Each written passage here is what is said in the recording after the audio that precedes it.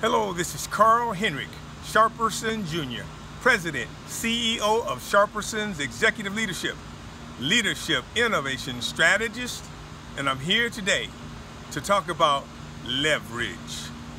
One of the things you always want to do as a leader is you want to understand your people, what they can do, what they're good at, what they don't want to do, what their gifts are, what their talents are, and you want to be able to leverage the expertise of your team.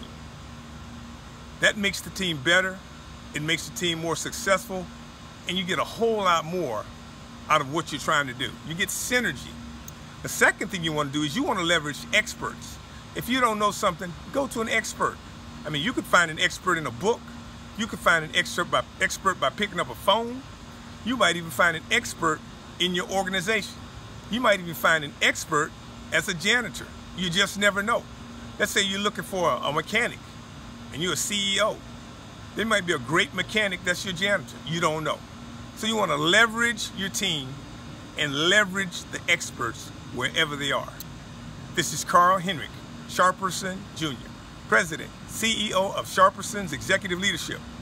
And I look forward to being booked by you for the next coaching, speaking, business consulting, or even recruiting. Have a great day.